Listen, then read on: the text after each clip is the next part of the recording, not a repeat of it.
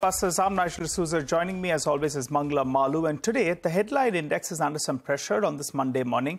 The problem is the mid and the small cap indices, because out there, the losses are far deeper. So keep an eye out on them. Uh, you know, the mid cap index, as we speak, is down close around 1.2%. But let's get straight to a couple of managements that we have lined up. Let's do that, Nigel. You know, even as we're seeing some bit of uh, decline in the broader markets, let's talk about uh, Finolex Industries. That's the one stock which showed a bit of a decline in, uh, uh, you know, is at the low point of trade with a cut of almost 7 odd percent. This after the company's second quarter earnings uh, saw revenue lower by 6%, while we also saw the company's profitability hit by inventory losses. We do have Ajit Venkataraman, the managing director of the company, joining us now to discuss the earnings in detail. Ajit, thank you for joining in. Um, you know, things weren't as good as expected in the first, uh, in the second quarter, the first half of this year. Just wanted your thoughts on what is one to expect in the next couple of quarters on the revenue, volume, and margin front. Good morning and uh, greetings for the festive season to all of you. Good morning. Uh, in terms of greetings uh, to you too. revenues, yes, we did go good. So in terms of revenues, we did, did go down by about six uh, percent uh, compared to Q2 of last year but uh, this is mainly driven by uh, the drop in re- uh, resin volumes, which was significantly impacted by one of our um, key suppliers in the Middle East shutting down their operations. But in terms of margins, there has been a significant turnaround from a overall loss of about 143 crores last year. we have moved to about 103 crores of profits. Hmm.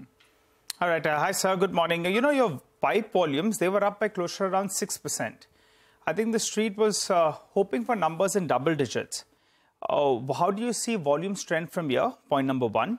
And on the realizations front, you know, I'm looking at pipe and fittings. The realization actually is up on a sequential basis. Is it because of product mix, which is good, but then the EBITDA per kg is still down? Uh, T- tell us about both these two aspects. So we had a, good move uh, in terms of moving from agri to non-agri. The, the ratio has improved significantly.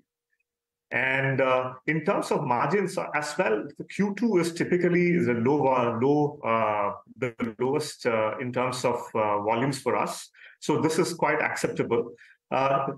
we did have a, a, lower than expected because of a skew towards agri compared to other players in the market. Okay. And what about realizations? They were better on a per unit basis. Yes. It's because of better mix, is it? That's correct. We have seen an uh, improvement in the margins uh, due to the uh, better mix of products. So, what would your full year guidance on margins be? I mean, I was just looking at the last three years. At peak, they were closer to 30%. Last fiscal, it was closer to 7 odd percent. This year, what is the kind of margin that you're likely to end with?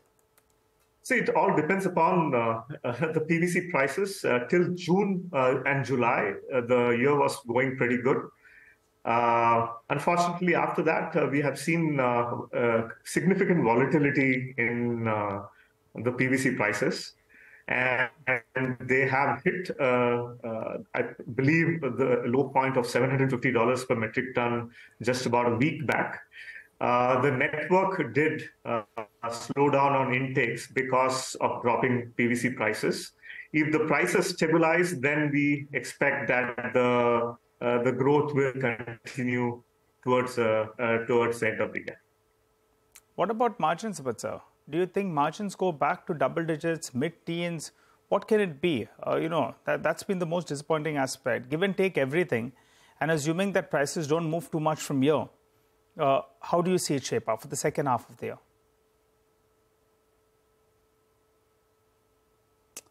Oopsie, I think uh, we have.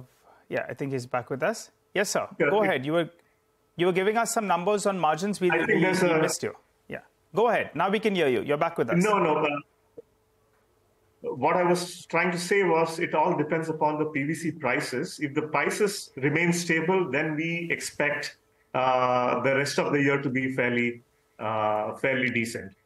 Uh, in terms of margins, we we expect it to be around the same levels. All right. So that's about the operational environment, and that's about the way you are looking at growing your business, etc. as well. But Mr. Venkataraman, you know, one of the things that was plaguing, uh, uh, you know, the, the uncertainty that uh, the people were looking at was with regards to the promoter group. Uh, now, with uh, you know Mr. Deepak being out and uh, Mr. Prakash having the entire or being the largest shareholder of both Finolex Industries and Finolex Cables, I just wanted to know whether the thought of merging these companies has come about. Would there be any synergies? How do things stand now? See, uh, to, be very honest, uh, as, as, a management, we don't get involved with uh, the promoter uh, level, issue, level issues. Uh, we are fairly focused on the business and uh, therefore will not be able to make much comments on the promoter level activities. Okay, all right. okay, then you won't be able to comment on that. What about the working capital days? What's the broadband we should be working with for the year? Uh, see, uh, we did have an increase in working capital, mainly mm. driven by higher inventory levels, uh, especially for the last one and a half months. This was mainly due to the uh, dropping PVC prices. And the network was not taking in raw material, uh, not taking in material because of dropping prices. With prices stabilizing, we expect this to reduce going forward. To what level? Uh, give us that working capital uh, broad band number and also the PVC EDC spread. You know that's been all over the place. I think for the past quarter it was somewhere in the vicinity of 550 to 600 dollars. What is it likely to be? So working capital days and the spread. So working capital about 59, 55 to 59 days is what we were looking at. And for the PVC EDC spread, it is at around $450 at the moment. For us, the comfort level is about 550. PVC VCM spread is at $95, which is fairly low. Hmm. Our comfort level is uh, upwards of $250. All so right. that means all right, we will hope that comes up and you know reflects in your operating performance going forward as well. But finally, you know, I I do uh, get your point that you know what promoters do is nothing to do with the management, and that's uh, obviously not in your scope of operations. But just as the managing director of Finolex Industries, I wanted your thoughts. Uh, your strategy team definitely would have worked on some sort of synergies, if at all both the companies were merged, right, in terms of operational costs or expanding your geographies, your markets. Just wanted to understand your thoughts, whether you, as, as the MD, have paid some heed to this. This too early days, and uh, we will see as it evolves. But you definitely have given some thought to it, right? Uh, see, as I mentioned to you, we operate fairly independently, and we don't get involved with the uh, with the promoter level activities. All right, we take that point, but we will definitely monitor this space as well while hoping for operational performance and volumes to improve. Thanks a lot, Mr. Venkataraman, for joining in. This has been a pleasure. Wish you and your team season's festivities too. We take a short break on this note, and on the other side, we get chatting with the management of RBL Bank.